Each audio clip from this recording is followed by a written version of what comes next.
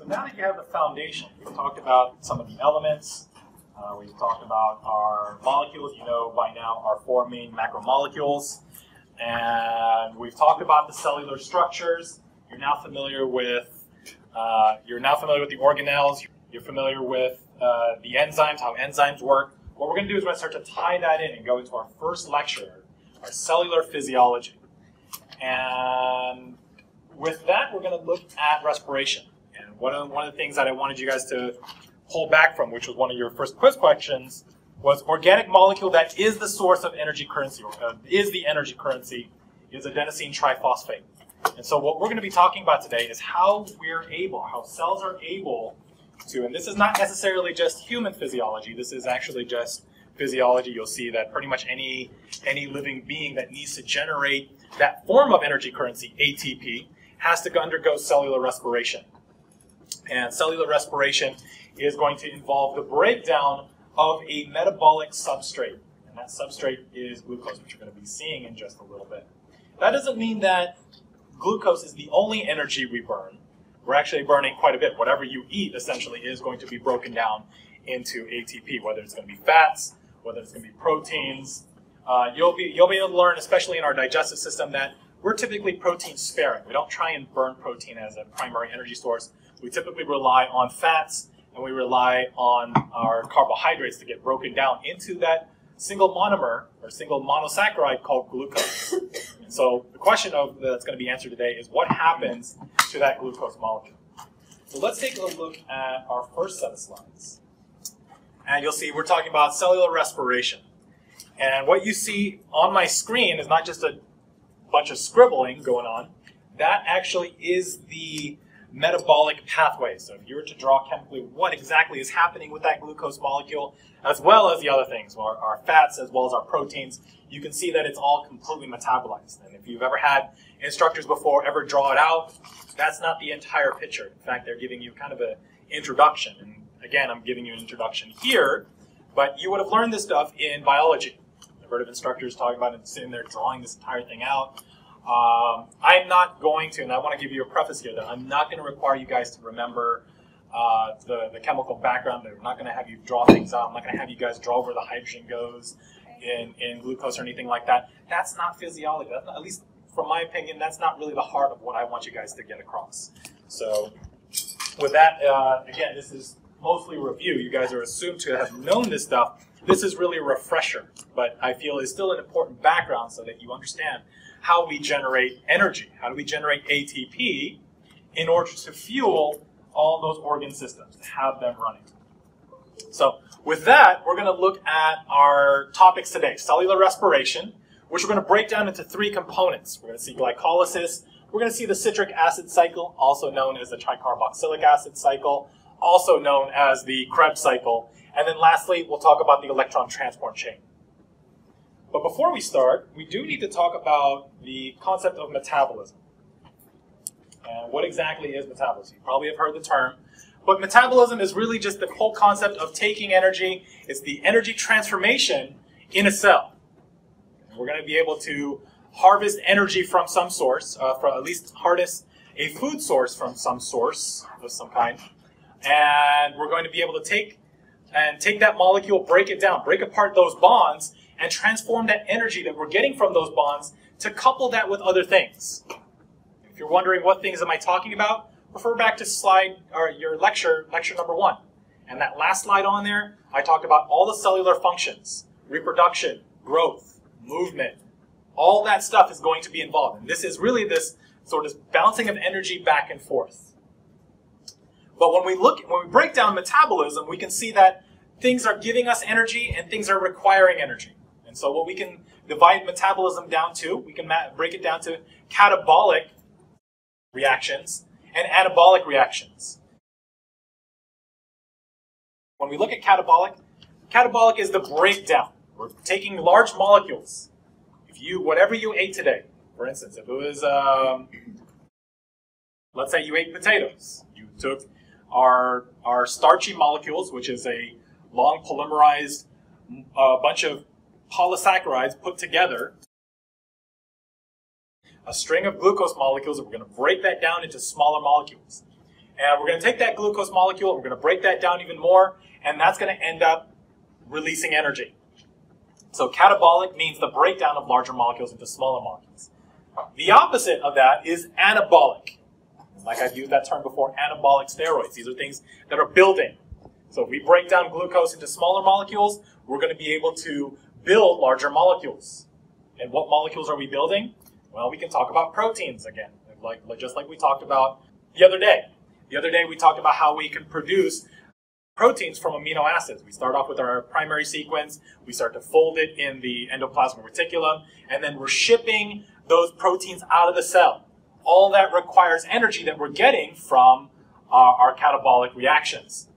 So here, anabolic means the synthesis of large energy molecules, large energy storing molecules, whether they'll be used for energy, whether they'll be used for growth, anything to support cellular functions.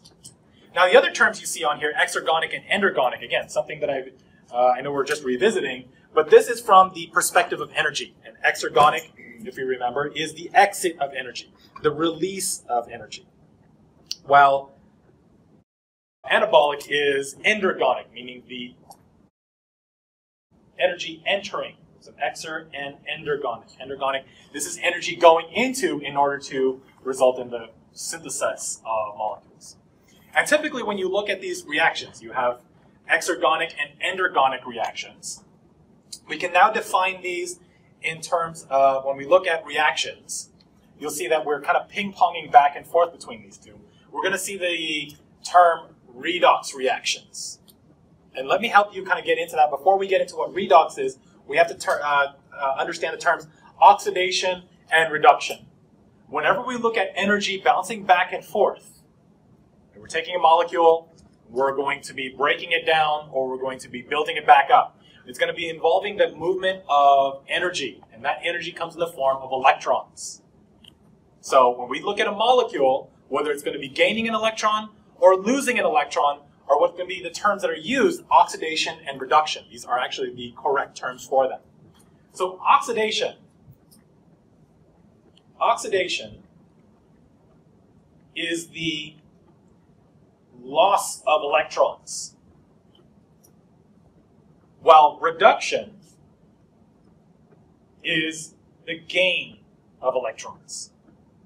Now don't think that oxidation is uh, catabolic or, or any of that. This is just from the perspective of looking at what happens to the electrons themselves. Because the overall message, yes, at the very end is exergonic and endergonic, but during this process, when we look at a reaction, when we're looking at glucose, we're trying to see, are we, are we stripping electrons off of it to, to use that energy to be used on another energy? So while I talk about the gain of electrons, typically when you're stripping an electron off, you, you've got an electron but you're also going to be freeing, just like Eli said, we're being we're freeing a hydrogen ion. So in, in essence, what this actually is, a hydrogen ion, it's a hydrogen with no electron. So it's a proton. So it's an electron and a proton. So typically these things go hand in hand. So the way oxidation and reduction is typically uh, defined is a transfer of electrons. But I also like to just make it a little bit easier for you guys, is to also see the loss or gain of hydrogen ions. Whenever you see electron moves, hydrogen ions will go along with it as well. So the way you can remember a reaction, whether it's oxidation or reduction, is this mnemonic that I, that I just drew out for you. Oil rig. Oxidation is the loss of electrons, while reduction is the gain in electrons. And I'll be able to give you an example in our next slide. And redox, redox reactions are a combination. If you look at re, reduction, and ox for oxidation. And an example of that is this central dogma equation right here. What are we doing with our glucose molecule? This is glucose. This, you know, is oxygen. H2O is water. CO2 and an ATP. This right here is the central concept of redox reactions. It's a combination of oxidation and reduction. We'll be able to pick this apart. If you ever look at what's taking place here, glucose plus oxygen is going to get broken down, down eventually down the line. We're going to be able to get water and CO2.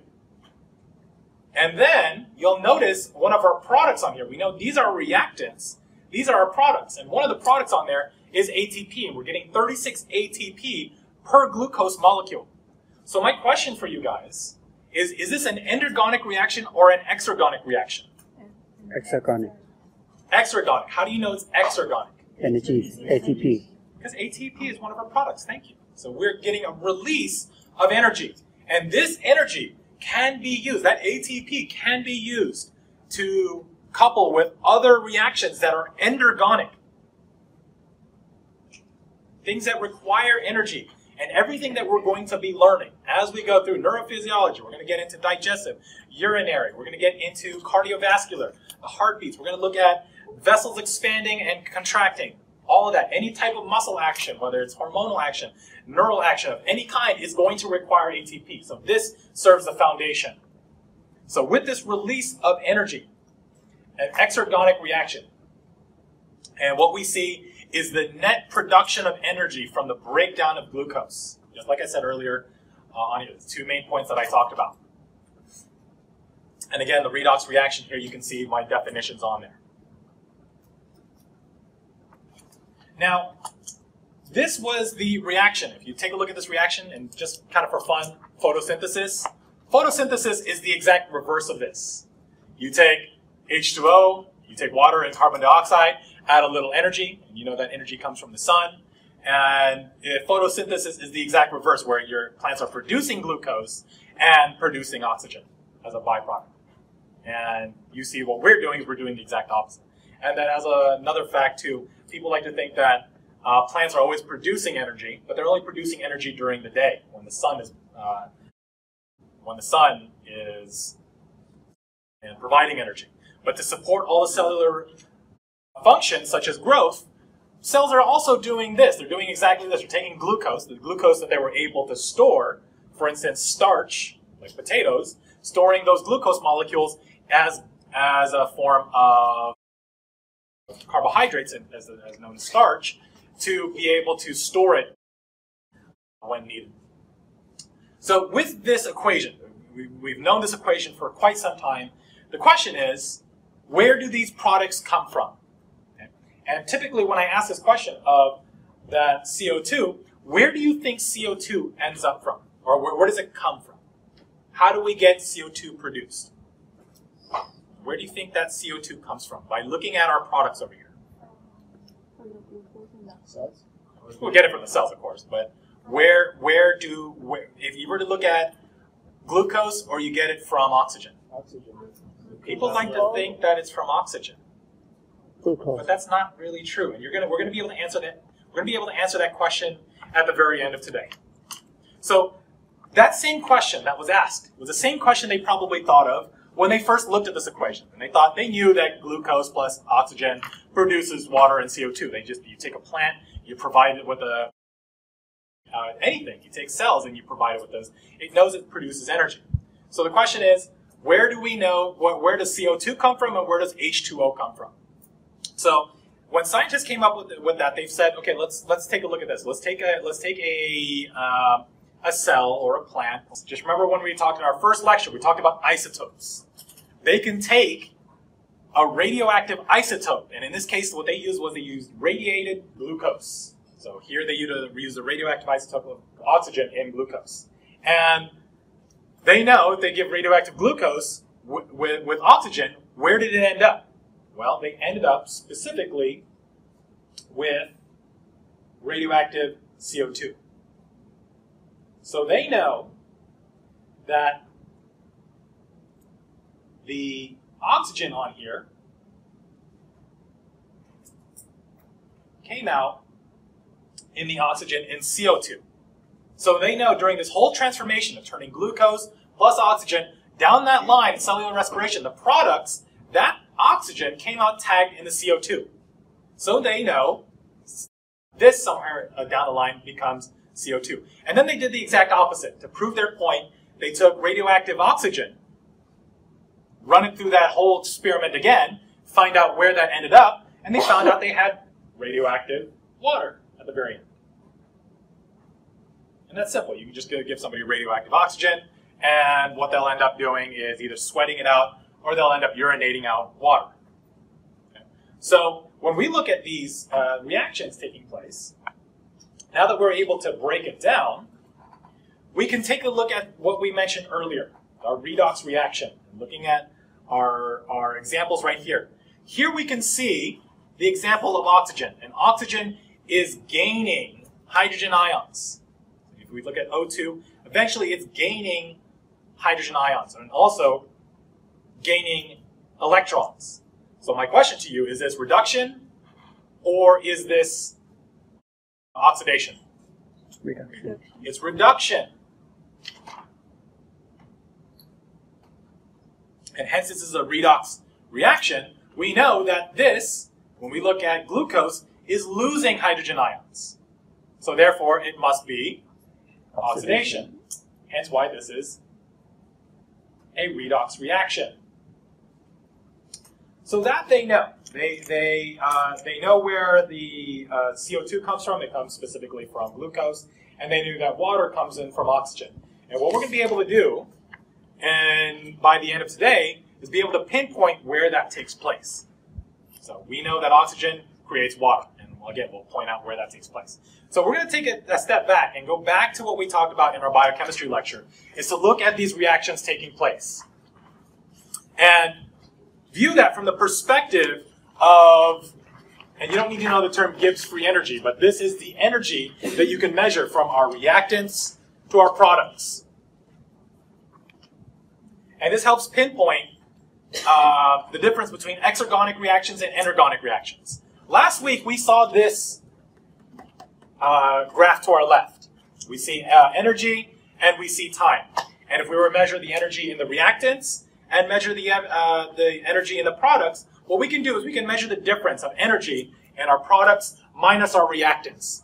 And we know that the change in free energy, which is delta G, okay, and again, I won't ask you guys exactly what delta G is, but you should understand the concept that we're ending up with less energy than with what we started. And that must mean that delta G, which is the change is, uh, is a negative change, hence why delta G is less than zero, that means energy is being released by exergonic reactions, which is exactly what the definition that I just gave you guys. And we know that the very bit right here is activation energy. It's energy that's required to get this thing started. So as we talked about, we knew in exergonic reactions that things can just happen. Eventually, maybe the reactants would eventually pick up enough energy that it would get over that little hurdle, which we know is activation energy, which you know from the quiz, and then the reaction would take uh, place further. And in cellular respiration, we'll be able to see that. But in order to speed that reaction up, what do we employ? If you remember from last week's lecture, what do we do? What do we introduce into the system to speed this reaction up without changing the change, uh, without changing the free energy? We introduce something that would speed the reaction. It's, like, it's something that catalyzes the reaction. Enzyme. Catalyst? Enzymes. Catalyst, yeah, but enzymes are the reactions that is, is what, what I'm looking for specifically. Enzymes are introduced to speed this reaction up. And we're going to be seeing that in cellular respiration. We're going to be seeing a lot of enzymes that are involved to speed this reaction up. Okay, so we know energy is released. If we look at endergonic reactions, endergonic reactions if you were to measure the energy from reactants to products, you'll see that we're gaining free energy. Hence why delta G is greater than zero. It's positive. It requires energy. And again, same thing. You'll see energy is being introduced. And then we see we need a certain amount of activation energy to get to that hump to finally get our product. And where does that energy come from? It comes from our exergonic reactions. So exergonic reactions, again, are supplying the energy for endergonic reactions. So we break things down in order to build things back up. And then, uh, as I mentioned earlier, our exergonic are our catabolic, and these are our anabolic reactions. Again, both of these comprising all of metabolism.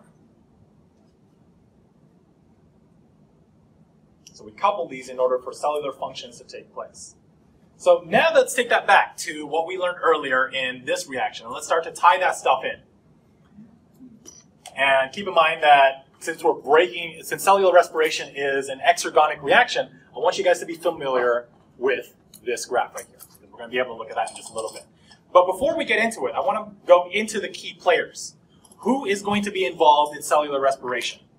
We know glucose is going to be involved. That's a big giveaway. Uh, and then we need electron acceptors. If we're stripping electrons off something, electrons have a good amount of energy to them. And what we need to do with those electrons is we need some middleman to come in and carry that electron over down to its final place. So keep that in mind. I know I'm kind of giving some vagueness right now, but that final destination, we need some carriers. And we have two carriers that are, are involved in this process. Nicotinamide adenine dinucleotide. And I would never ask you guys to remember the names of those. We know they're called NAD, and the other one is called flavin adenine dinucleotide, also known as FAD. And both of these are actually derived from vitamins. When you, when you learn about why vitamins are necessary, vitamins, derivative of, uh, of B vitamin is niacin, also known as vitamin B3. And the other one is a derivative of a, uh, of a B2 vitamin, also known as riboflavin, so B2. So these, if you were to take a look, are electron acceptors, meaning that they're going to be gaining electrons. And then also, they're also gaining the hydrogen ions that come with it. So you can see that we have NAD8, uh, NAD plus. It's going to be gaining a proton and gaining an electron. And therefore, you're going to be able to see that NAD is going to be, if it's gaining an electron, is it being oxidized or reduced? Reduced. Reduced. So we're going to see the reduction. Both of these are going to be re reduced.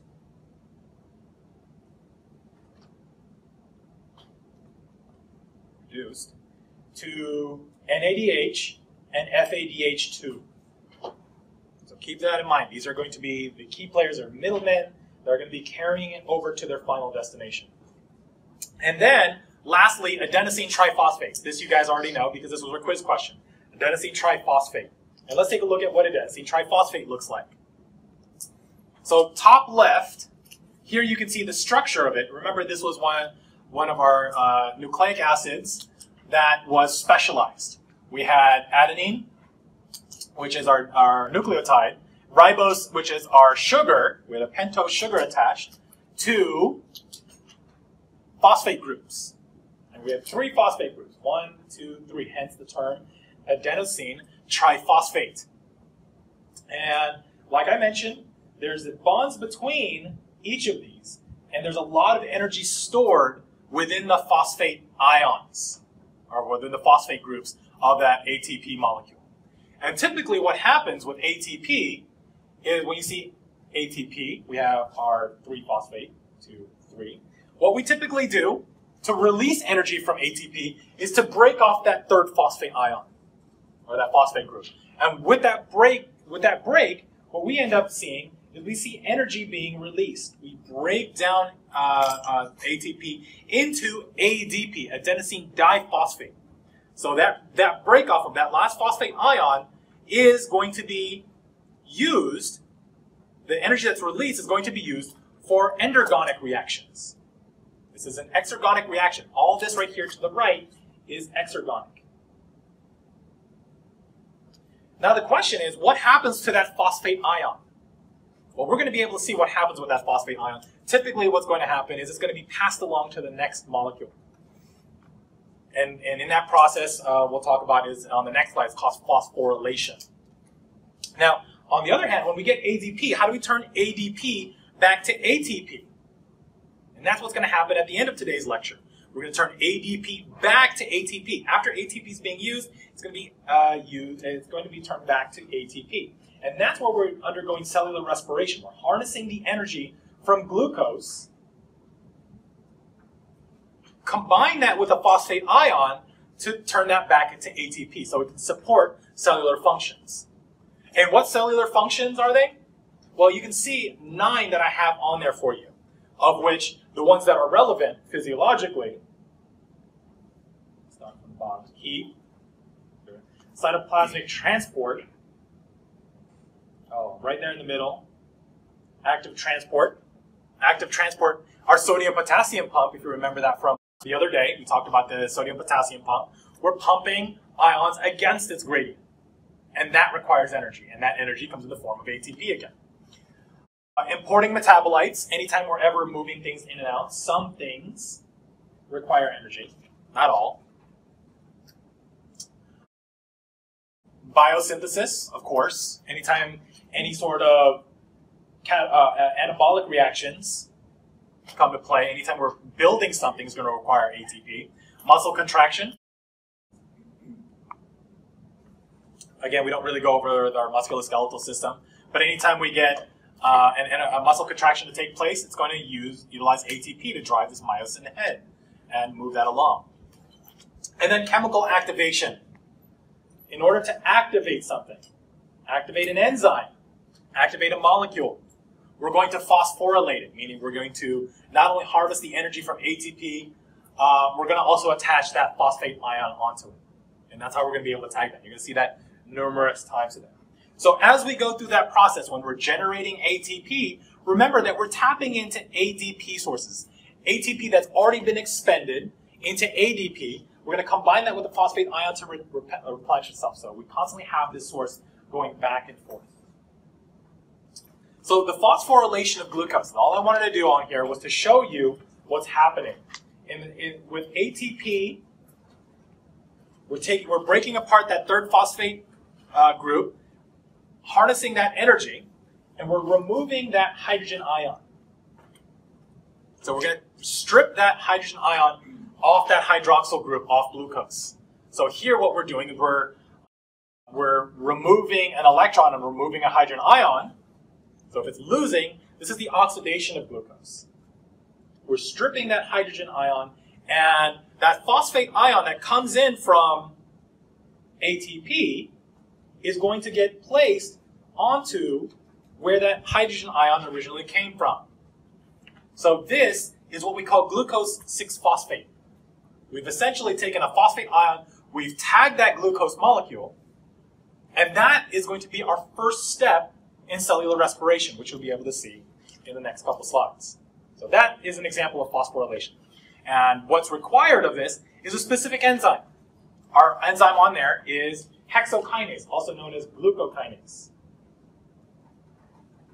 That's the name of the enzyme that strips that hydrogen ion and attaches and metabolizes ATP and attaches that phosphate ion on there.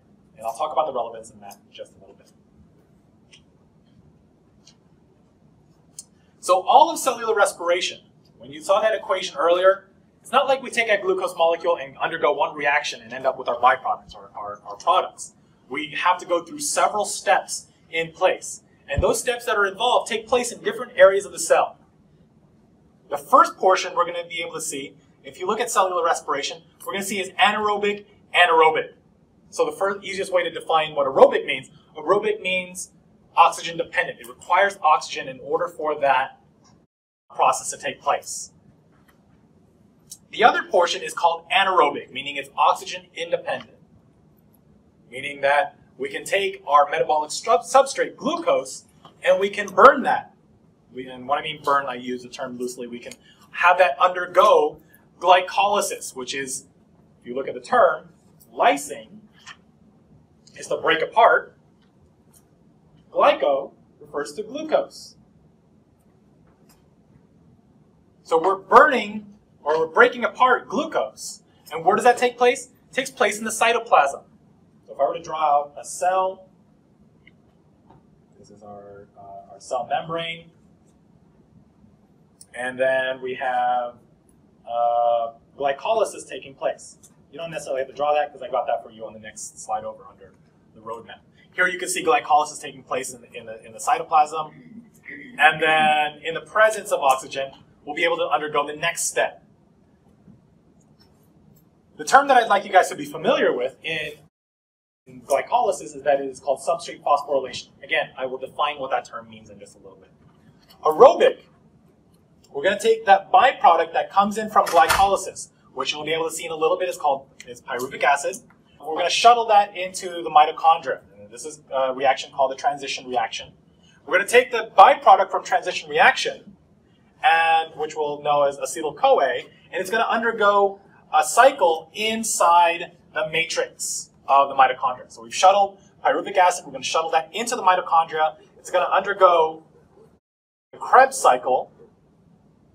And then the last portion is called the electron transport chain, where we have enzymes littered all along the cristae of the inner membrane of the mitochondria.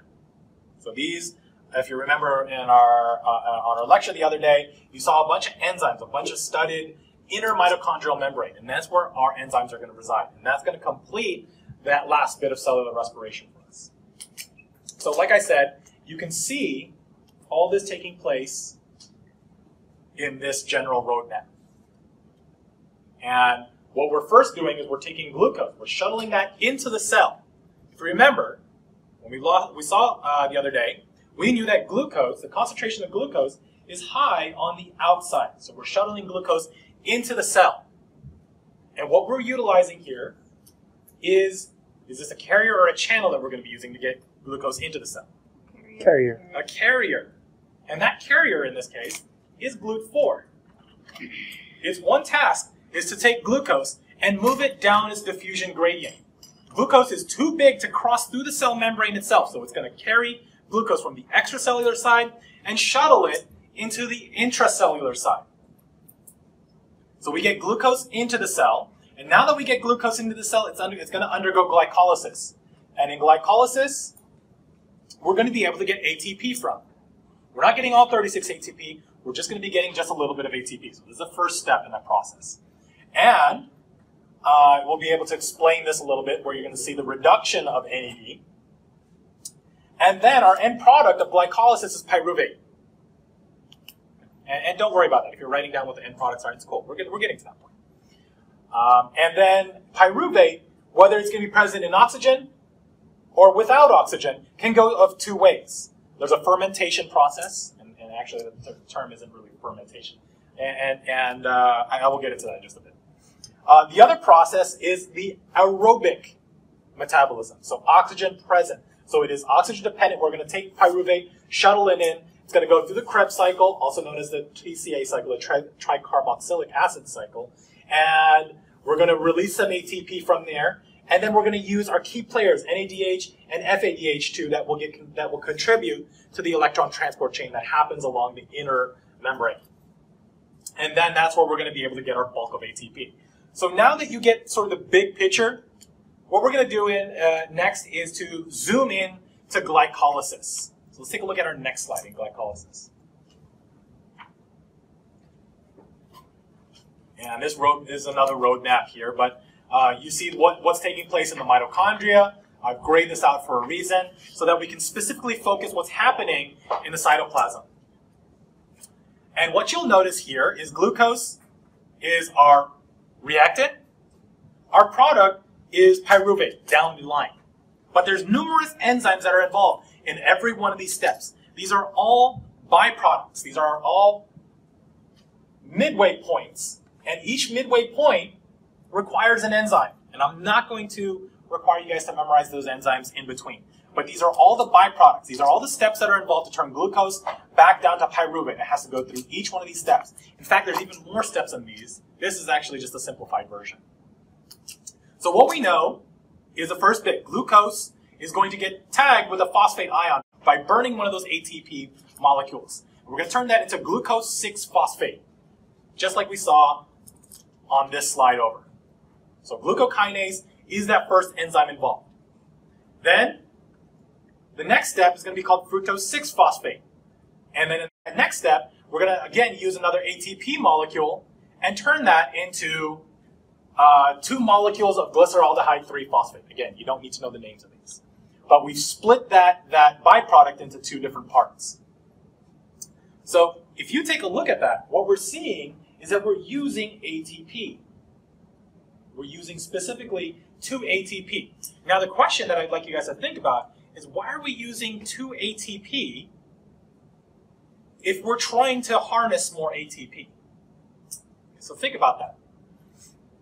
when we get into the next stage, once we split that uh, fructose 6 phosphate into two glyceraldehydes, we're going to be able to see that NAD is getting reduced into NADH. We're stripping electrons off. And we're going to have our carriers that are going to pick up those electrons. Now, the next thing you're going to see, we're going to have uh, 1,3-biphosphoglycerate. Again, you don't need to know the names. But when we, we go undergo the next step, you'll see that we're going to be able to phosphorylate our ADP, meaning we're turning ADP into 2-ATP. And then that last step, here we get phosphoenol pyruvate, and we're taking 2-ADP, turning that to 2-ATP. We're harnessing the energy as we transform that glucose molecule and turning that into 2 net ATP. So here we used 2 ATP, here we get 4 ATP. Our net gain from burning that one glucose molecule is 2 net ATP.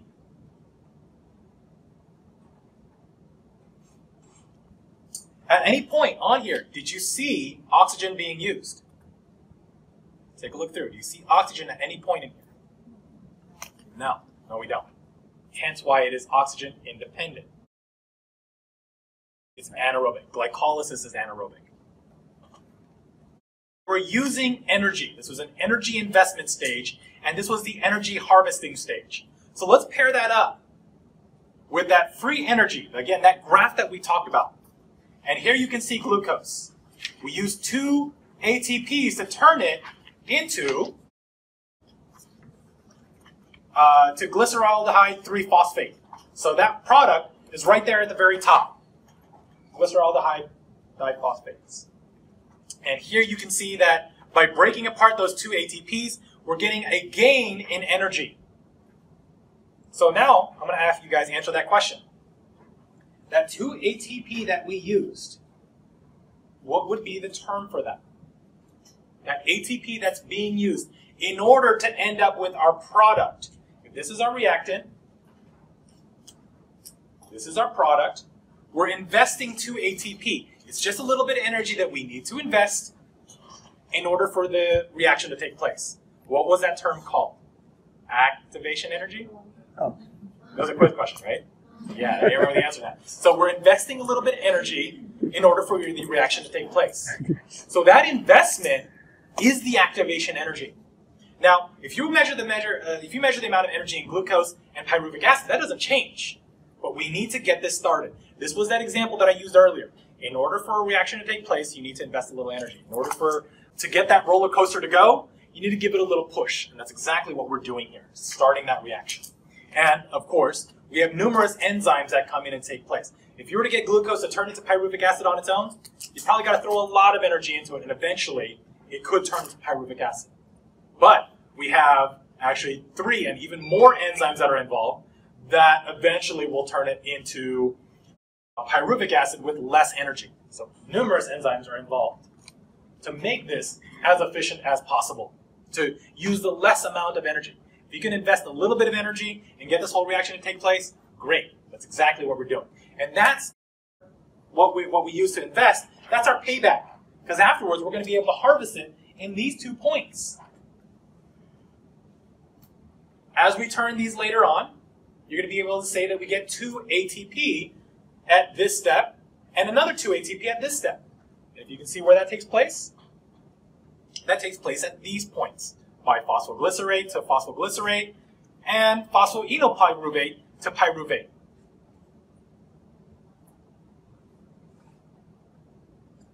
So that's what we talked about. And then, uh, another thing to note on here, the, the change in energy. We get a change in energy where our, our final products, pyruvic acid, has less energy than what we end up with glucose. So here we would note that the change in free energy is going to be negative. It's less than zero. So think this about this conceptually. If I have less energy in pyruvic acid, where did that energy go? I lost a good amount of energy. That's delta G. Where did that energy go? I'll give you a clue. What you learned last week, you learned that that came off as heat. Kinetic energy. That kinetic energy is off to do something else. We're not giving off heat necessarily per se in this, in this process. where did that energy go? Go to next step. Yeah, it's still potential energy. What did we end up with? What was our uh, what, were, what was our product? Pyruvate.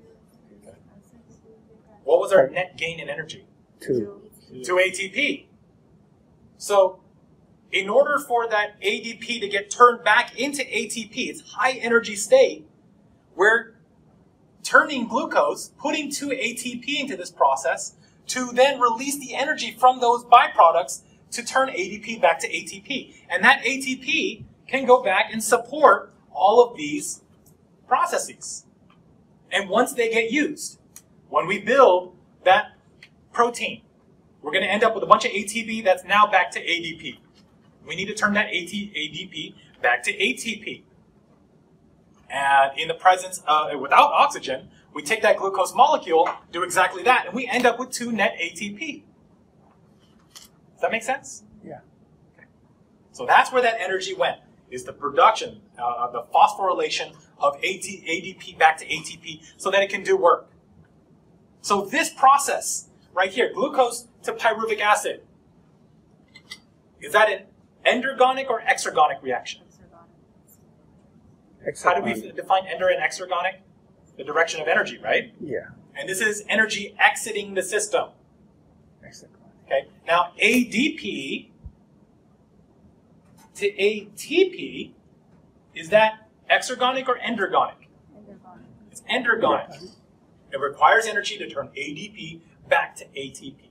So this is another example of where we used an exergonic reaction, coupled that with an endergonic reaction to take place so that we have our source, our energy currency right here, ATP. That's exactly what we're trying to achieve. So now, out of the 36 ATP that we learned from the very beginning, this is where we get two ATP first. So it requires a little bit of energy at first in order to end up with that. Now let's just look at what's happening to the hydrogen ions and the electrons themselves. And the breakdown of what start what we started off with, with glucose. Glucose is C6H12O6. There's six carbons. And eventually, when we look at pyruvate, it gets broken down into two pyruvate molecules where we get uh, a pyruvate molecule with C3H4O3 and it's three carbons. So we have we have two acids that we end up with, uh, each with three carbons. So if we look at the carbons, then eventually we have to look at the hydrogens and we have to look at the oxygens. And this, if you remember from chemistry, is what we call stoichiometry. All we're doing is making sure, do we end up with the same carbons at the other, at the other end? One C6 for glucose, and we end up C3 plus C3. So we have six carbons on both ends. So our, our carbons are good, right? What about the hydrogen molecules? No. Okay. What about the oxygen molecules? Yes. Yes. So they all balance out. So we're losing four hydrogens in this process. So the question is, where do those four hydrogens go? And then, consequently, what happened to those electrons that follow those hydrogen ions? That's the question. NAD.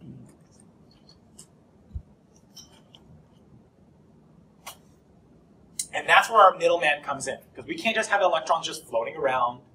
They've got to be carried by somebody. And that's where we first see our NAD. Our NAD come in.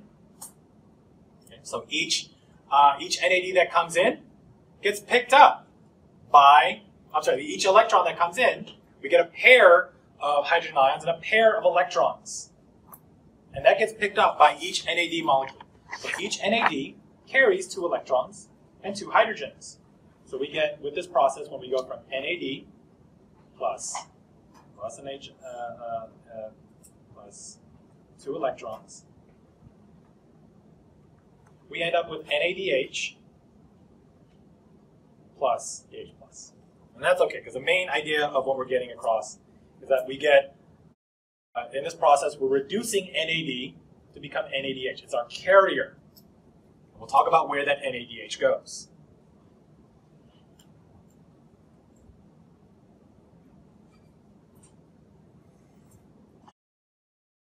Okay, let's continue. We've already talked about our glucose transporter as we mentioned in this previous slide. Our GLUT tran- uh, transporter. what we're doing with that, that, that, that transporter, once that glucose is transported in, what we're doing is we're going to be activating that glucose. Take a look at that first step on here. Glucose to glucose 6-phosphate. This is where glucokinase or hexokinase, as I mentioned in this previous slide, hexokinase is coming in to phosphorylate glucose. Now the question is, why do we need to do that? So we're activating it, and in the process we're activating it uh, with a phosphate ion that comes in from ATP. And through that phosphorylation, what we're doing is we're trapping that glucose into the cell. Remember what I said about that phosphate and oxygen. They have a tendency to become very electron hungry. And if, it, if it's electron hungry, if you take a look at it, this is going to make it more polar. And therefore, if it's more polar, not only do you have a large molecule, but now it's even more polar. So it traps it into the cell. So that phosphorylation of glucose starts the process of glycolysis.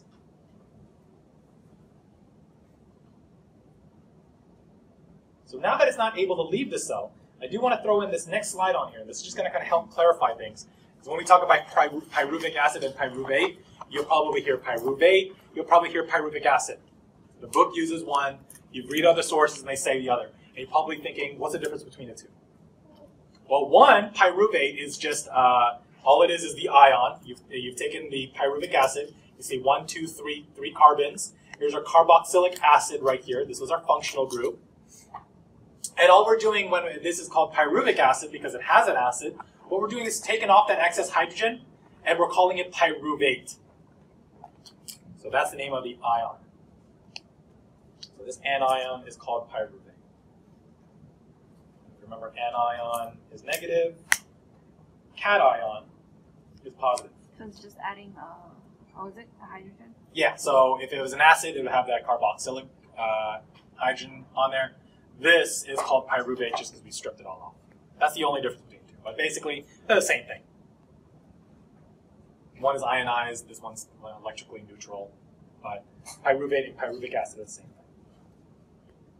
This right here just basically does the same thing that we've already looked at. Except again, from a different perspective. We're taking glucose and we're splitting it into two pyruvic acids. Again, all the different intermediates or byproducts in between. We're using 2-ATP, to turn it into fructose 1,6-biphosphate, and then we take each of these, turn them back into their intermediates, eventually back to pyruvic acid. So here you can see at each step where ATP is being harvested and where ATP is being invested. So this represents the activation energy. These two points right here represent the uh, electron, I'm sorry, the energy harvesting stage. And these two are our progress. So I've used that term earlier. If you go back to your earlier slides, I called glycolysis, in, that in the process of glycolysis, it's called substrate phosphorylation.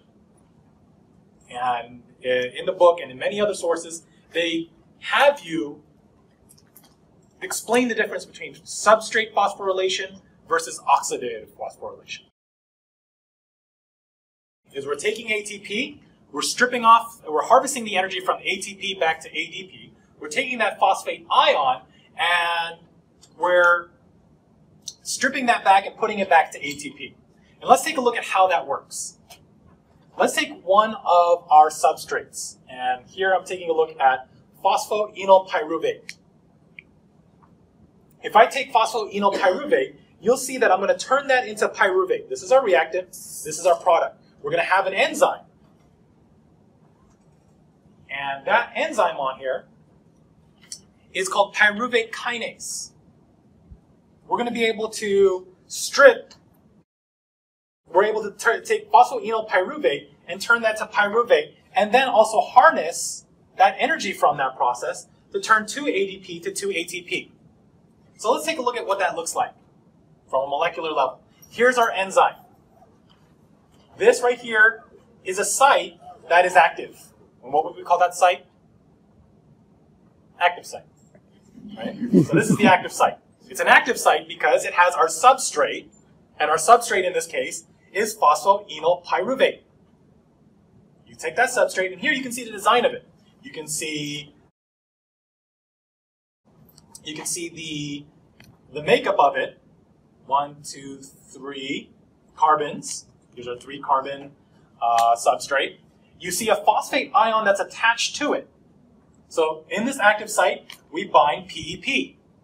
The other substrate that's required, so if this is reactant number one, we need reactant number two. This should start to look familiar because if you remember, we did A plus B turns to C. You guys remember that? And in that process, what we're doing is we're also releasing energy. So reactant number one, reactant number two. And what's happening in this process, this enzyme has one job, and that is to, when these two reactants bind, is to strip that phosphate ion and catalyze the reaction to bring that over to adenosine diphosphate. So that there's that phosphate ion. It gets transferred over back to ADP. ADP turns to ATP, and we end up with our final products: pyruvate and ATP. So what we're doing is we're metabolizing that substrate, hence the substrate, PEP. You can even get this with the same thing when if you were to look at uh, fructose 6-phosphate. There's an enzyme that will, I'm sorry, uh, uh, bi- biphosphoglycerate. You can take 1,3-biphosphoglycerate, and that's going to undergo, this is the substrate, it's going to undergo a process where another enzyme, very similar to this one, catalyzes the reaction of taking that phosphate ion, pulling it off of this, and throwing it back to adenosine diphosphate. And again, where does that energy come from? That, that energy comes from that energy transfer that goes back from, again, going back from, from this step to this step, this step to this step, that energy right here that's lost is coupled to drive this enzyme. So that enzyme right there, that phosphorylation of ADP turning to ATP requires energy.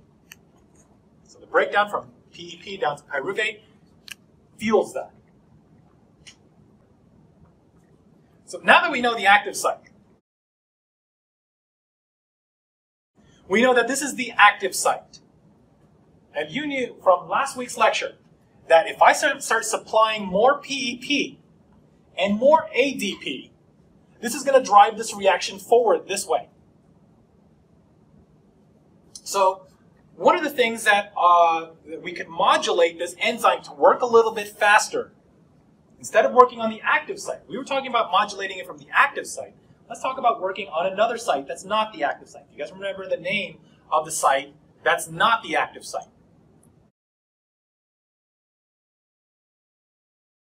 The Allocation. name on a site of an enzyme that's not the active site. Allosteric site. Allosteric activator and an allosteric inhibitor. So an allosteric activator is something that would activate this enzyme by binding to the allosteric site. Well, naturally, if you want to turn on this enzyme, wouldn't it make sense that you would have one of these byproducts? One of these byproducts early on. Imagine this. If all of a sudden you get, uh, let's say you get uh, fructose biphosphate.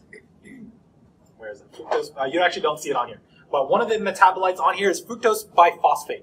If that comes in and turns on this enzyme that's required over here, wouldn't it make sense? If I'm producing a bunch of one of these intermediates, hey, ramp up those other enzymes down the line because I'm going to get them to work harder. So that one of these metabolites comes in, turns this enzyme on, and now this enzyme can work. You're starting to activate more of these enzymes so they can work later on the line. Now, think about what's going to inactivate this enzyme. Turn this enzyme and make it work slower. Well, one of our products in this is ATP. ATP can come in and phosphorylate this enzyme to turn it off. And that should make sense because if I'm starting to get a bunch of ATP, I don't really need glycolysis anymore. I've got enough ATP to do what I need. You're not just trying to produce a bunch of ATP and just say, hey, produce a bunch and store it. You only use what you need. So here's that concept that if I need more ATP, I'm going to make it. And if I have enough ATP, I'm going to turn it off. That sounds like some sort of feedback mechanism, doesn't it? Yeah. Which one is that? Is that positive or negative? It's negative feedback. So ATP comes in and turns off this enzyme so that it can't make more ATP. You're going to see a lot of that in physiology, especially when you get into your careers later on. You're going to learn that these come back to turn it back off. This is all an example of negative feedback. And not one that I require you guys, that was sort of a bonus. I'm not going to require you guys, I'm never going to say that on the test, what's going to be the allosteric inhibitor of, of um, our pyruvic kinase. That's cool. That's way too much information. You get on later on, medical school, sure, yeah, you're going to have to know that. And then also, what you would also learn, especially in, in uh, even in uh, pharmacology, you'll learn that these enzymes that are involved, something's got to turn off that enzyme to stop that production of something. If you make too much of something, which is typically what uh, a disease, or you don't make enough of something, a disease is exactly like that. So maybe we just got to turn that enzyme off a little bit. We'll cover that when we get into our cardiovascular lecture. There, there might be something that's happening, so what we need to do is turn something off. We need to turn an enzyme off. Therefore, we'll work on that allosteric site. That's exactly how these drugs work. If you learn this stuff, you really learn how drugs work, and you learn on a, on, on, a, on a molecular standpoint how that works, you can make some big money. Because that's exactly what pharmaceutical industries need. They they understand how the molecules come in to turn an enzyme off, and what's that going to do to the other systems? Is it going to affect anything else? Are they going to produce the unwanted side effects? Exactly. Okay, so I'm, I'm digressing. I don't want to get too too into it, but at least help you stimulate some things. So that's substrate phosphorylation. Now, what we end up with at the end of glycolysis is pyruvate. And the question is, what do we do with that pyruvate or pyruvic acid? We want to convert that over into our next product called acetyl-CoA. So we've taken pyruvic acid, and you can see that in the reaction next on the next slide over. We take our pyruvate, and we want to shuttle that into the mitochondrial matrix. We need to get that into the matrix. We started off, that pyruvate was produced in the cytoplasm. It's going to get shuttled into the mitochondria, and in that process, we need to convert it into acetyl-CoA so that it can make it into its next step, called the uh, Krebs cycle. So here you can see this process. We're going to take pyruvic acid, or pyruvate, and then it gets shuttled into, here's our uh, outside of the mitochondria, here's the inside of the mitochondria. And this is going to land itself, taking a look at that pyruvate, you're going to see that that pyruvate, we're going to strip off this carboxylic group, and if you look at it, C and then two oxygens. Conveniently, that's going to become CO2, right? So there's our first product of CO2. Figure that. Didn't that come up from a sugar? You guys thought it was from the oxygen. No. We get our first CO2 come off. We strip that, that, that, that carboxylic group. We're going to reduce NAD into NADH. So now what we're going to be doing is we're going to get uh, coenzyme A. Coenzyme A is going to come in. That's coming in from the mitochondria. That will come in and become acetyl-CoA. So these two carbons that we saw from pyruvate, we've stripped off that, that carboxylic group, which becomes CO2. We're going to attach acetyl-CoA. I'm sorry, attach coenzyme A to become acetyl-CoA. Of course, the question becomes what happens to that CO2? How do we get rid of that CO2? Well, that CO2 gets shuttled out of the mitochondria into the cytoplasm. That cytoplasm makes its way back out. We're going to shuttle that back out of the cell. That cell is going to get made into the outer extracellular fluid, of which part of the extracellular fluid is the capillaries. That's coming around delivering fresh fluid to the cell. So that CO2 gets diffused out into the circulatory system. And where does that make its way to? To the lungs. So now that we have acetyl-CoA, we're going to take acetyl-CoA and it's going to merge with uh, oxaloacetic acid to form citric acid. That portion right there, you can see on our next slide. So here's acetyl-CoA. This is what came in from, from the transition cycle. Acetyl-CoA. This cycle spins around. This entire citric acid cycle spins around, and one of the final products is called oxaloacetate, or oxaloacetic acid. That comes in to bind to acetyl-CoA along with the water molecule to form its byproduct, citrate. So keep in mind that this cycle constantly spins around. And It goes over and over again. As long as you're shuttling in acetyl CoA, it's going to continue. So when you get oxaloacetic acid to bind to acetyl CoA, you're going to see it's actually going to pull off that coenzyme A. So that question of where that coenzyme A came from came from back here. This is just an intermediate. It's a it's, it's one that just comes right back in to feed it right back. It forms its intermediate called citrate. So here you can see one two, right? You see one two, two carbons. So that becomes a four carbon called citrate, and we call this the tricarboxylic acid cycle or Krebs cycle. The tricarboxylic acid cycle because we have three carbo- uh, three carboxyl groups. One, two, three. And that's what we start off with. And each of these steps, and again, you're going to see a bunch of intermediates. The question is, do you need to remember them? It's okay. You don't need to know. But the ones that you're going to see that, that you could remember, if you remember from, from biology, the mnemonic that I remember using is G-PAXMO. And I remember this because it was, it was a stupid mnemonic, but you know what? I can remember it. Glucose, pyruvic acid, acetyl-CoA, citric acid, alpha-ketoglutarate, succinic, malic, and oxaloacetate. And I still remember to this day because of that mnemonic. And each of these are the intermediates of the citric acid cycle. And you, again, you don't need to know each of the steps, you don't need to know the molecular structures, but what you can see from here is citrate turns into isocitrate, and you'll see that this mnemonic doesn't cover all the intermediates and before that. And actually, there's a lot more intermediates than that. This is, again, like a high school biology class that I took. If you look at one of these, the, any of these carboxylic groups, you'll see that we strip them off. And that stripped off carboxylic group turns into CO2. So right here, you can see this is our first CO2 that's pulled out. Where do we see the next CO2 pulled off? What we're doing with this right here, these two C's, we're pulling off another carboxylic group and turning that into the next succinyl CoA. So we have two CO2s that we've pulled off per turn of the cycle. Here's succinic, uh, fumarate, malate, oxaloacetate. And then once that last metabolite comes in, it binds to another acetyl-CoA and repeats the cycle again. Another acetyl-CoA gets shuttled in, it's going to turn again. So as long as, like I said earlier, as long as you're feeding acetyl-CoA into the system, you're keeping the system turning over and over and over again. And in this process, per turn, what we're doing is we're just counting each of our byproducts. CO2, we definitely want to look at ATP, and we also want to look at NADH, and we also want to look at FADH2.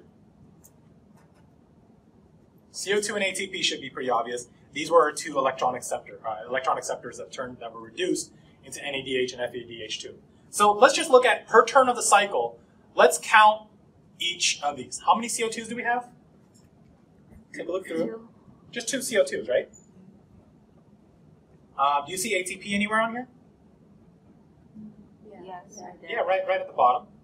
So here, what you're looking at is it's actually GTP, guan, uh, guanine triphosphate. It's okay. It's just it's it's another form of ATP. Don't want to get into too much detail. But what we're doing is we're generating one uh, ATP. Uh, NADH. Where do you see NADH on there? One, two, three. Cool. And then how many FADH2 are you seeing on here? Just one. That's per turn of the citric acid cycle. So, my question to you is how many turns are there per glucose molecule? Two. Two. Did you guys know that? Well, hopefully not because you just said it right there. I realized that after I asked that question. But, yeah, well, that glucose molecule is broken down into two pyruvates. Let me go back to an earlier slide. That glucose gets broken down into two pyruvate acids. And even going back to this earlier slide, that glucose molecule gets broken down into two pyruvic acids.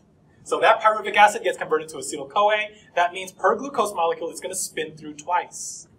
So let's go back to that earlier thing that we pointed out, where we summed it all up. And we're now going through two turns of this. Times two, times two, times two. And that means we get 4 CO2, 2 ATP, 6 NADH, and 2 FADH2. Don't worry about writing that real quickly because you know what? I summed it up for you on the next slide. So now summing this all up, we've now looked at glycolysis. We looked at the transition reaction. We looked at the Krebs cycle. We know that glycolysis ended up with 2 net ATP and 2 NADH. Transition reaction, we saw 2 NADH and 2 CO2. Again, per pyruvic acid to acetyl-CoA. And then Krebs cycle, we saw 2, 6, 2, and then 4 CO2. Just as we were able to sum that all up over here. So if we're going to go in, how much, how, what's our net ATP right now? Four. 2 plus 2. Four. 4 ATP. We get 4 ATP in this process up to this point. But I thought we were making 36 ATP. We've only made 4 so far. So the question is, what happened to that? Where, where are those th other 32 ATP coming from? That's where we have the next step. The next step being the electron transport chain. So our final destination for the electron transport chain for our uh, our products at the very end, we were able to see on here the conversion of those of those carbons from that acetyl CoA getting transformed back and forth, and it's going to continue on this cycle over and over and over again. So the fate of that glucose molecule is done.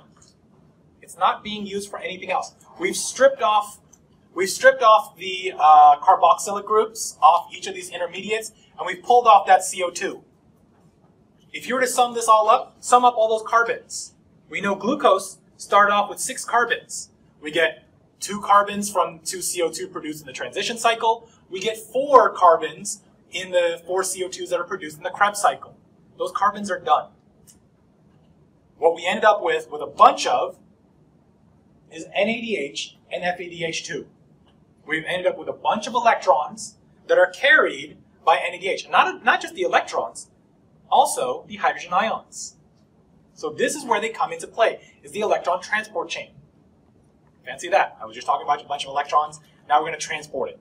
And so now we're looking at the cristae, the inner uh, the inner membrane of the mitochondrial uh, the mitochondria. So the inner membrane is littered with a bunch of enzymes. And if you were to take a look at it and actually dissect it and look at it, you can see it's just studded with a bunch of enzymes. Those enzymes, those mitochondrial enzymes, represent five major complexes. NADH hydrogenase, uh, actually dehydrogenase. NADH dehydrogenase, succinate dehydrogenase, which is also known as CoQ10. If you've seen CoQ10, you've probably seen at health stores, you would have seen something called coenzyme Q. CoQ10. I know that I've seen it. I've seen it at Costco. They're trying to sell sell you on buying this stuff, and they're like, "Oh, it raises energy levels and it does this and that." No, it doesn't. It's just it's a it's a it's a byproduct in the electron transport chain. You already have enough of it. And that's just kind of another thing that you think about when you think about supplements they try and sell you. Your body produces it. They're just giving you more of it. You if you have more of it, you don't need it. You eliminate it. So where does that money go to? You end up pissing it out. So don't worry about that. So succinate dehydrogenase. And of course, if, if, your doctor says you need to take a supplement, take the supplement. Don't ever say, Marlon told me I don't need to take it. Not a doctor. I, I, don't. Let them determine your medical or your, your, your course of treatment. But nonetheless, in normal people, you don't need additional CoQ10. The other uh, thing you're going to see on here is cytochrome BC1. There you'll see something else called cytochrome C, which is not necessarily a complex, but is also involved in this process. And the, uh, the, the next complex 4. is called cytochrome C oxidase. You don't really need to know the terms of these. It's okay. Complex 1, 2, 3, 4, 5.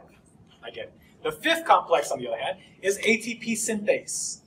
And right off the bat, if I were to ask you, what do you think ATP synthase does? We know it's an enzyme, because it ends in ase, just like all these other enzymes end in ase. What do you think ATP synthase does? Synthesizes. Synthesizes ATP. So that's our final step. So each of these right here, five major complexes, are all in this process of synthesizing ATP. But technically, technically speaking, it's that last bit. All these other, in the electron transport chain, are going to do exactly that. They're transporting electrons through these major complexes. So we can see that on this next slide. It's a, little bit of a dated slide, but at least you get the idea of where we're at. Citric acid cycle is happening on the inner fluid area of the innermost membrane of the mitochondria. On the outer layer, this is the outer membrane, the outer layer of the mitochondria. And in between is the inner membrane space, in between the inner and outer mitochondrial membrane. And all along the, my, uh, the uh, inner mitochondrial membrane, you'll see one, two, three, four, and then fifth are ATP synthase. These are the enzymes that you saw on this slide right here. So to take a look at what's happening is we have to see the, the process that's taking place. And each of those steps are listed on here, so at least you can see what's taking place. So if you'd like to follow along, I can describe what's happening. The first, enz- uh, the first complex is called NADH dehydrogenase. If you look at the term dehydrogenase, what do you think NADH dehydrogenase is doing? It dehydrogenases. Removal of water. Right. Remove hydrogen. Removal of water. Yeah, it removes, well, not necessarily with water. Hydrogen. It's removing a hydrogen. And where is it moving the hydrogen from? NADH. So if you're removing a hydrogen, you're also removing an electron that comes with it. So we get an NADH. An NADH carries two electrons and also carries two hydrogens with it. So what we're doing is we're uh, if we're taking NADH and we're losing electrons, are we reducing or are we oxidizing? We're losing electrons. Oil. Oxidize. Oxidation, right? We're oxidizing. So we're losing electrons. We pull the electrons off that NADH. Those two electrons get handed to the first complex. And what we're doing when we take that high energy electron, we're going to pass it through. And it's going to get passed over to coenzyme Q, also known as CoQ10, also known as succinate dehydrogenase. And that's going to hand it over to complex 2. And complex 2, uh, actually no, sorry, complex 2 is uh, succinate dehydrogenase. It's going to now get carried over to complex 3. And when we get complex 3 coming in, coming in, we should be able to see it on here. Complex 3 is going to take that electron, and it's going to pass it over to cytochrome C, which is going to now hand it over to complex 4. So what we're doing in the electron transport chain is we're taking these high energy electrons that came from that NADH, and we're passing it along like hot potato. It's got a lot of energy. We transfer it over to the next step. Then transfer it to the next step, and removing those, uh, removing those high energy electrons, and removing a little bit of energy from it in that process. What are we doing with that energy? Well, we're driving hydrogen ions across. Every time you have an electron pass over, you're going to allow a, a hydrogen ion to pass through. And it's going to pass from the matrix into the intermembrane space.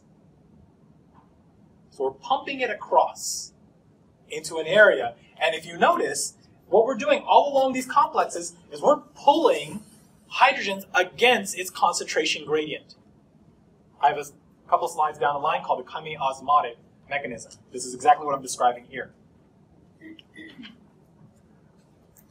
So in that process, I'm passing the electrons through,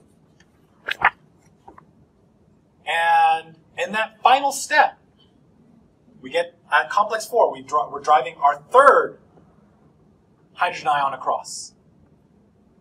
What do we do with those electrons that get left over at complex four? We have these electrons. We've got that last. We got that electron. That's at that last step. We got to do something with those electrons, and that's where the electrons combine with two free hydrogen ions come in and meet that oxygen molecule. Where does where does that oxygen molecule come from? How do you get oxygen? And You kind of breathe it in, right? Breathe. Yeah. Yeah. That, that's my answer. That oxygen comes into the system, picks up that electron. So that oxygen ion, uh, that we take that oxygen, we split that oxygen, and that oxygen is now an electron acceptor. So if that oxygen is gaining an electron, is it being oxidized or reduced? Reduced. So the reason we take in oxygen is so that it can be reduced into H2O. Right? In other words, we're taking that oxygen, it's picking up two electrons, and if it's picking up two electrons, it's got to pick up those two hydrogens. So two hydrogens and half an oxygen molecule become H2O. So if the question is, why do we breathe oxygen? The sole purpose is the second to last step on the electron transport chain. All it does is it picks up that those high energy electrons. That's all it does. Because remember what I said from the very beginning. Oxygen and phosphorus are very electron hungry. So they pick up the electrons at the final end. I just want to make sure I understand it. So NA, NADH is a carrier that goes into every complex, right? NADH, what it's doing is it's actually stripping, uh, the first one is called NADH dehydrogenase. Well, you had said that the hydrogen had two electrons, but they're losing an electron each, right? Yeah. But where do the rest come from? I'm sorry, one more time. You said it had two hydrogen electrons when it came in, right? Two, uh, so NADH, it's, it's typically NADH plus a hydrogen ion. And then it starts losing those hydrogen Yeah, and ions. it, and it pulls those hydrogen ions. One of which that uh, one of the uh, well, two of which those hydrogen ions get shuttled across. Uh huh. Okay? And then we have hydrogen ion. We have the two electrons that come in with it. So we the dehydrogenase pulls those electrons from NADH and passes it along complex three and complex four. And each of those steps is pulling a hydrogen across into the inner membrane space. Did that help? Yeah. Now the question is, what do we do with that NAD plus? What are we going to do with that? We're just going to be like, okay, cool, you're done NAD plus. Go ahead and go die off somewhere. No, we recycle it. That goes through the step. Every other step in glycolysis, in transition cycle, as well as the Krebs cycle. Every one of those steps that needed NAD, NAD plus, it gets recycled in that process. And so we continue. So now we've left off, we've, we've, got our, we've got our water molecule, we've now gotten rid of our oxygen molecule, we have hydrogens now in the inner membrane space. The question is what happens also to FADH2? And FADH2 makes its way into complex 2. It actually bypasses complex 1, because complex 1 is called NADH dehydrogenase. It's not called FADH dehydrogenase. Complex 2 will do it. It only takes complex 2, so it's only driving FADH2. It's driving uh, electrons through complex 3 and complex 4. Don't worry about that. It's written down a little bit down the line. So all that summarizes everything that I've just talked about. This portion right here talks about complex 1, 3, and 4, and shows you the free energy per electron. And that's just showing you that these electrons are very uh, high energy electrons, and they get passed through. 1 down 2. And that energy that's freed up from complex 1 to 3 and from 3 to 4 is being used to drive that hydrogen ion across into inner, inner membrane space. So that in the inner membrane space is called the chemiosmotic mechanism. And this is what we're doing where we pump those hydrogen ions into that space. So we formed a gradient. And as I said, it uses energy, energy that we saw from those complexes to throw it all up into that into the inner membrane space. In that process, we talked about NADH. We transfer three hydrogen uh, three hydrogen ions through complex one, three, and four. FADH only transfers through three and four. So with that, we know that FADH only transfers three, FADH transfers two. So with that being said, now that we've had all of our hydrogen ions, we have to take a look at our fifth complex. And that fifth complex, again, is ATP synthase. And what that does is it uses that. I totally forgot about a break, guys. I apologize. I got way too into it. Um, okay, ATP synthase is uh, what that's doing is ATP synthase. It's using that chemiosmotic gradient. It's using those hydrogen ions all the way up to the very top. I totally apologize. I totally. Not only is it a break for you guys, it's also a break for me. I realize I did not take a break for myself. Hydrogen ions. Like, oh, I'm like, why am I like so tired right now? so those hydrogen ions are going through, and they're going to make their way down into down this gradient. Okay? So hydrogen ions, every time it passes through, it's going to cause this whole ATP synthase to spin and create, what is it creating again? What is ATP synthase synthesizing? ATP. ATP. So it's going to turn ADP into ATP. So ADP plus a phosphate ion. So if you were to look at this ATP synthase molecule, or this enzyme, it's two substrates, or two reactants are ADP and, and phosphate ion, and it's using this gradient. It literally is using all these hydrogen ions that will float through. It's using it like a waterfall. It's exactly what it's doing is, as hydrogen flows through, it's using that gradient to couple that to phosphorylate ADP to turn it to ATP. And every time a hydrogen ion flows through, it phosphorylates an ADP to ATP. So knowing that earlier, as I described, if NADH transfers three hydrogen ions and FADH transfers two hydrogen ions, we know that each NADH molecule produces 3 ATP. And each FADH2 produces 2 ATP. This is actually a really cool molecule because if you take a look and see how it's spinning, all of these right here are subunits. So this, you're seeing in its quaternary structure. Each of these right here are tertiary structures that are folded up. Take a look at the outside. These on the outside are hydrophilic groups. On the inside, hydrophobic groups. Each of the sides that are exposed to water are hydrophobic. And then you see the entire configuration of this. If you were ever to study the molecule itself, it spins exactly this way. So that is oxidative phosphorylation. Look at the term oxidative phosphorylation. All we're doing when we discuss the term oxidative, and I, have, do have? There it is, oxidative phosphorylation. This is that process right there. What we're doing is the oxidation of NADH to NAD+. This process, where substrate phosphorylation, we use a substrate. Here, we're oxida- uh, oxidizing NADH to become, uh, to help phosphorylate down the line in ATP synthase to phosphorylate ADP. So that is, let me just kind of quickly sum all that up for you right there. 3D image of protein folding, and I already talked about that. This last one right here is uh, something that helps put this together for you.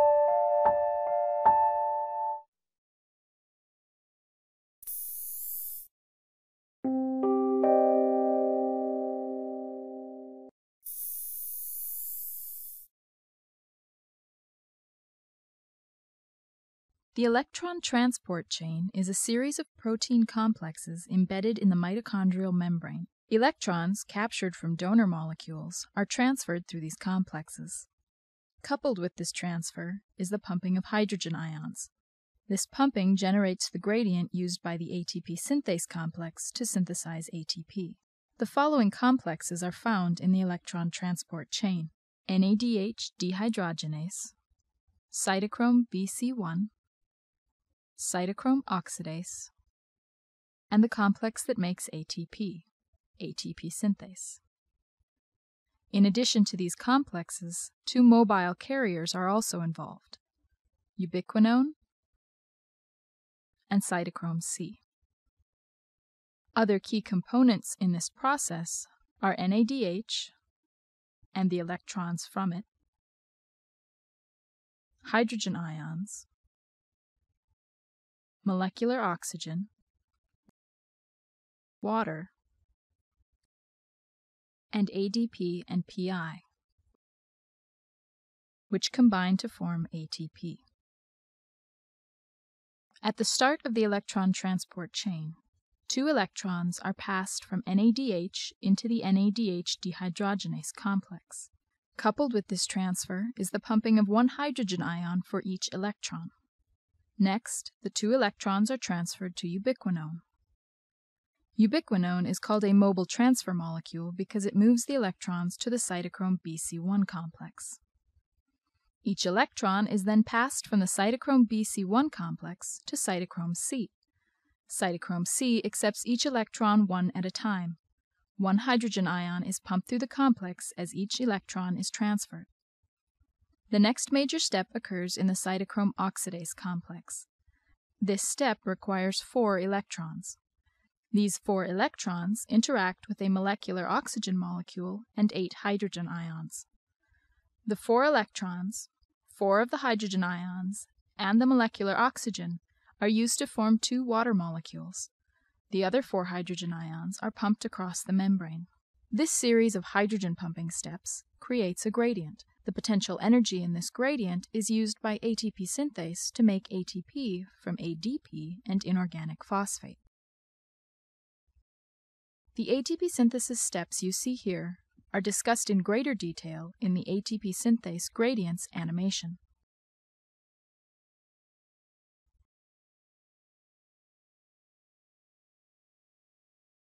This animation illustrates two full cycles of electron donation. In biological systems, however, many electron transport cycles occur simultaneously, helping to ensure that the proton gradient is always maintained.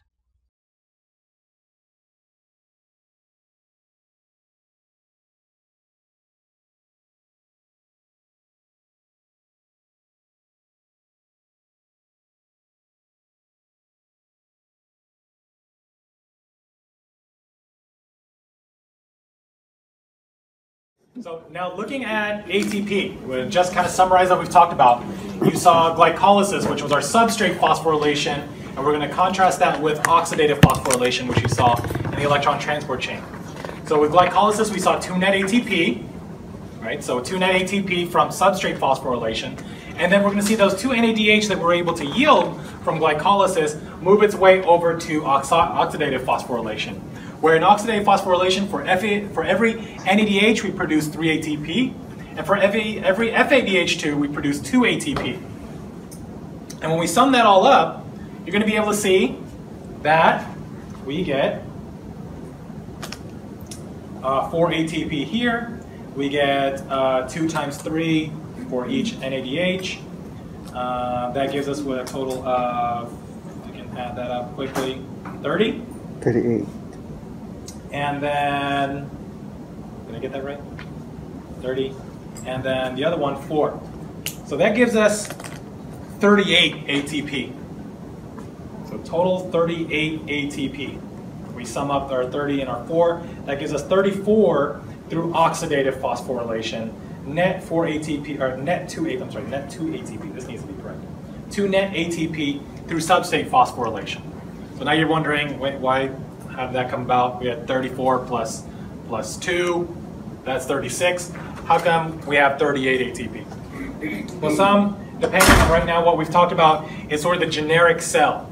And different, depending on the cells, some cells require ATP in the transition re, uh, reaction cycle. So you get you get a loss of 2 ATP, but general rule is 36 ATP with a little bit of ATP used for some of the processes, depending on the cell. That's all it comes down to. So with that, we should know how we produce. But all of this was all contingent on oxygen being produced. Because what happens, going back to an earlier cycle, what happens if we don't have oxygen in this process? That means we can't get that last step to take place. And if we can't get that last step at, at uh, complex 4, we, it'll, it'll be a backup all the way down to the very beginning. So we have to take a look at what's happening in anaerobic respiration. Think about through this whole process.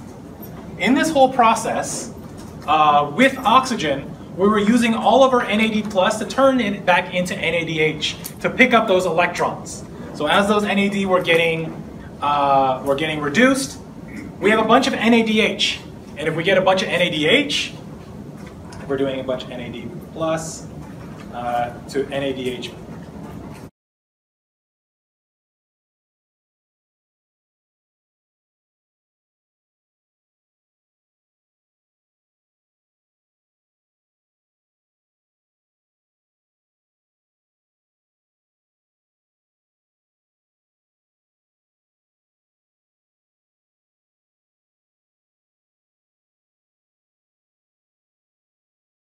Didn't require, if you go back to our earlier slides, the one that didn't require oxygen, was glycolysis. And let's take a look at what's happening in glycolysis. In glycolysis, the end product was pyruvic acid. At no point did we ever use oxygen for that. If you don't believe me, go back to your earlier slides and look at glycolysis. And in this process, what we have in anaerobic respiration is a way for us to conserve NAD+. And how we do that? We have a, an enzyme